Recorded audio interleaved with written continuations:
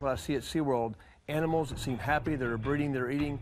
I'm not sure about the lifespans. I know they do their research in the wild, but is there research in the wild 100%? Absolutely not. I've, I've been doing this for 42 years. I've re, re, interviewed researchers all over the world about the whale. You know, and, and I still say that you have to love something to say something. The research and the education that SeaWorld is providing all of us is, is indescribable, and I hate to see that go.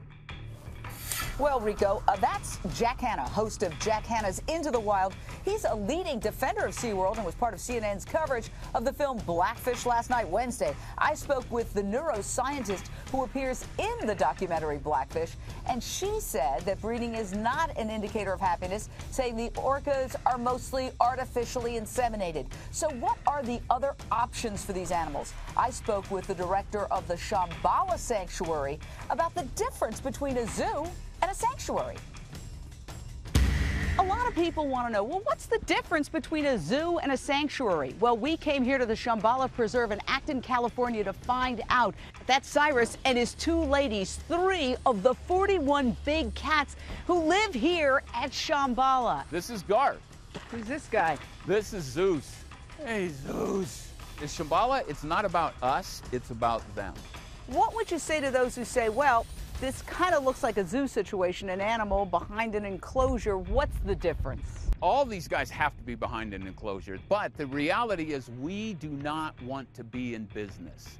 We wish we were not a necessity. That's what we are. We don't buy, sell, breed, or trade. We use these animals for no commercial use whatsoever. These animals get confiscated from people that have them illegally. You got to do something with them. Hopefully they come to a place like us so they don't get bred and they don't become part of the problem again. A kid for his 18th birthday told his mother, and this isn't a story, told his mother he wanted a Lexus or a lion.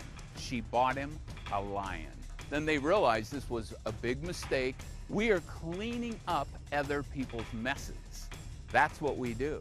You can't return these guys back into the wild, unfortunately. They have no street smarts whatsoever. Zeus has a nice, beautiful enclosure. Shambala's theme is to give them as much room as possible. We spend money. That's what we do.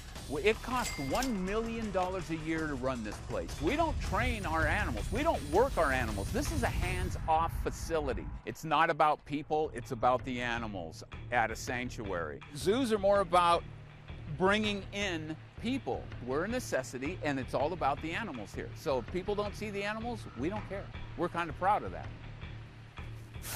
Well, Rico and you at home discussions like this will continue on this show. Next week, we're going to talk about the fight to free Billy the elephant.